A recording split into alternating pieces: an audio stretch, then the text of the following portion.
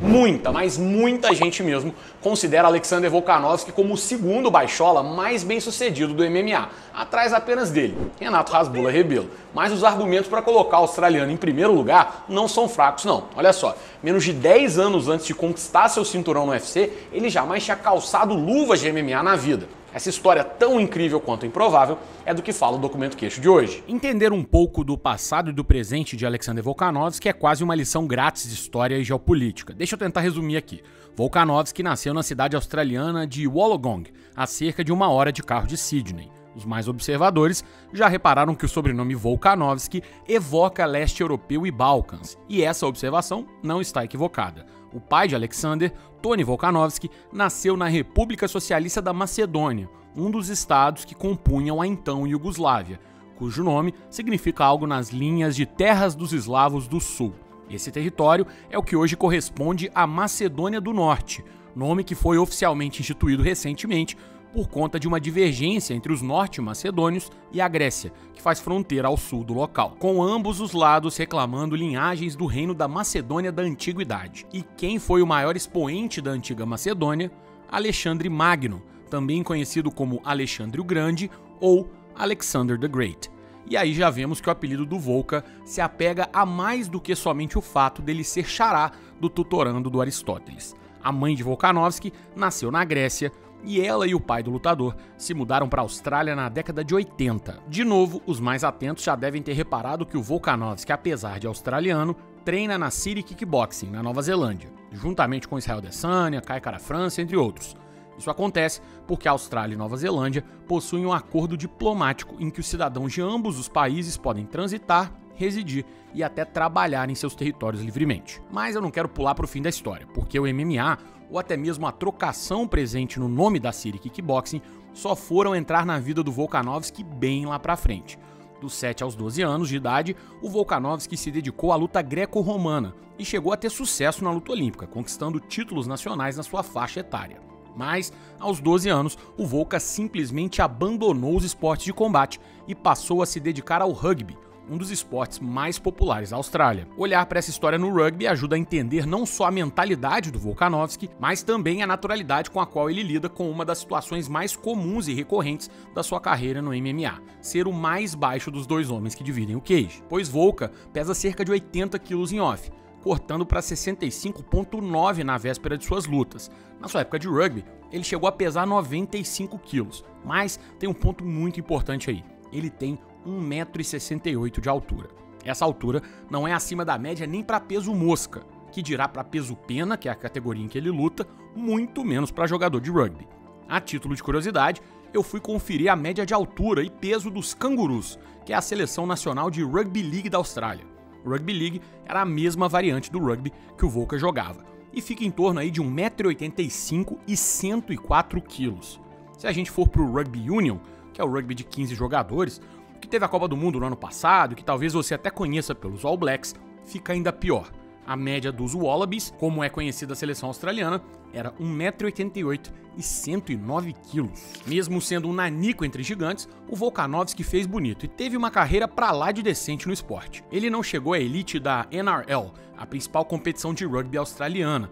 Volka jogou de forma semi-profissional, ou seja, sem dedicação exclusiva ao esporte, pelo Warilla Lake South Gorillas, ou simplesmente Warilla Gorillas, equipe de certa relevância nas ligas menores australianas. O ponto alto, com perdão do trocadilho, da carreira do Volkanovski no rugby teve início em 2010, quando aos 21, 22 anos, ele foi premiado como jogador mais valioso da divisão 7, em que a sua equipe joga. Só um detalhe, divisão 7 não é a sétima divisão, é que são divididas em regionais. A grande questão aí, no entanto, é que o seu time foi derrotado na grande final e eles ficaram com o vice-campeonato.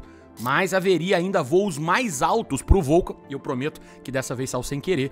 No ano seguinte, em 2011, o Warilla Lake South Gorillas, que vinha de dois vices-campeonatos consecutivos, quebrou um jejum de mais de uma década e sagrou-se campeão da divisão 7. O melhor jogador da final diante do Gary Gong Lions, quem foi? Alex Volkanovski, como ele era conhecido nos campos. Se liga só na declaração dele após o jogo que eu achei no jornal local Illawarra Mercury. O último título dos Gorillas foi em 1997. Esse campeonato já devia ter vindo há muito tempo, mas finalmente nós conseguimos. Eu estou muito empolgado, disse o Volca, que posteriormente avançaria muito na oratória e daria discursos motivacionais e inspiradores em suas entrevistas pós-luta. E a essa altura aqui parece que já está tudo definido. O Volkanovski vai seguir a sua trajetória no Rugby League, vai ser um cara muito bem sucedido, vai se tornar profissional, vai subir no esporte até chegar no mais alto nível. Ou então, como acontece com muita gente também, não vai dar certo, vai ficar no quase, vai abandonar a carreira e vai fazer outra coisa. Mas não, tem um pedaço dessa história que aconteceu justamente durante essas duas temporadas que ele teve muito sucesso no rugby que eu ainda não tinha contado. É o seguinte, em 2010, na pausa da temporada do rugby, enquanto lembre-se, o Volkanovski seguia no seu trampo ainda, ele decidiu que precisava fazer algo a mais para manter a boa forma. A ideia do que fazer veio de um passatempo de Alex que havia se intensificado muito nos últimos anos, desde que ele começou a assistir aos tapes de eventos antigos do UFC e também a acompanhar o MMA contemporâneo. Ele então bateu a porta da Freestyle MMA, academia comandada por Joe Lopes em Windang, também na região de Illawarra, ao sul de Sydney. O que era para ser uma ocupação só passageira, para cobrir o vácuo deixado pela falta do rugby, foi aos poucos se tornando mais importante que a razão pela qual ele pisou na academia pela primeira vez. O Volkanovski passou a treinar feito um maluco, pegou de novo o ritmo do wrestling, adicionou a parte ofensiva do grappling à rotina e principalmente focou muito na trocação, pois lembre-se, a essa altura ele não tinha lançado um soco competitivamente ainda. Olha só que maluquice em paralelo com as suas melhores temporadas no rugby, o Volkanovski fez suas primeiras lutas amadoras de MMA. Na época, ele competia, acredite ou não, de peso médio, porque os 84 quilos eram mais próximos do seu peso como jogador. Como você deve imaginar, o Volkanovski ficava minúsculo na divisão. Pouco importou. Até 2012, foram quatro lutas amadoras com quatro vitórias. Em maio de 2012, logo antes do início da temporada de rugby em que sua equipe conquistou o título, o Volca estreou no MMA profissional, baixando uma categoria. Dessa vez como meio médio, ele venceu Gerhard Voigt por decisão unânime. O Voigt é o querido de camisa vermelha nessa foto, que tem também o ex-UFC Anthony Perocha ali no canto. Se você é das antigas, vai lembrar dele. E aqui nossas duas histórias se cruzam, porque justamente naquele momento em que parecia que tudo havia se encaixado no rugby, o Volca escolheu o MMA e não olhou mais para trás. Entretanto, não foi sem seus percalços. Ele seguia em grande desvantagem física como meio médio, papo de 10, 15 centímetros mais baixo que os seus adversários. Isso sem falar na recuperação de peso. Ainda assim, ele conseguiu quatro vitórias na categoria. Por outro lado, sofreu também sua primeira derrota e foi ficando claro que seu lugar não era ali. Nova descida de categoria e Alex Volkanovski agora era peso leve.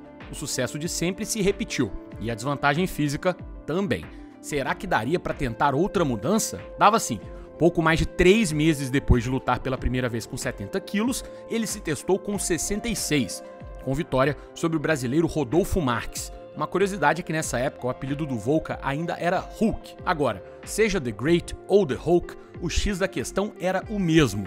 Ainda que lutasse nos penas, Volkanovski seguia tendo que escalar a montanha contra adversários de maior porte físico que ele. Mas dali em diante, até o UFC, onde, diga-se de passagem, esse abismo de altura ficou ainda mais evidente, o Volkanovski contou com dois trunfos essenciais.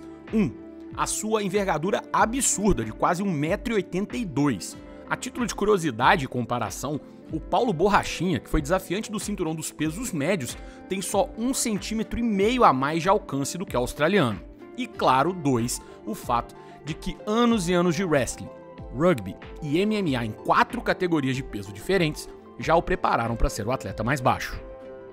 E essa é a história de Alexander Volkanovski, o baixinho invocado que já marcou época nas artes marciais mistas. Eu sempre peço que se você gostou dessa edição do Documento Queixo, não deixe de dar o like no vídeo, compartilhar, mandar no grupo de amigos, mandar no grupo de corrente de oração, botar no computador da firma e deixar tocando. Tudo vale para poder ajudar o Documento Queixo a voltar sempre aqui com histórias do MMA, trazendo esse olhar um pouco diferente sobre o esporte que a gente tanto gosta. Falando em Documento Queixo, aqui no canto vai aparecer uma playlist com todas as edições do quadro para você começar a assistir agora, maratonar e só parar na véspera do UFC 298, quando Alexander Volkanovski enfrenta o Ilya Topuria, beleza? Valeu, um abraço e até mais!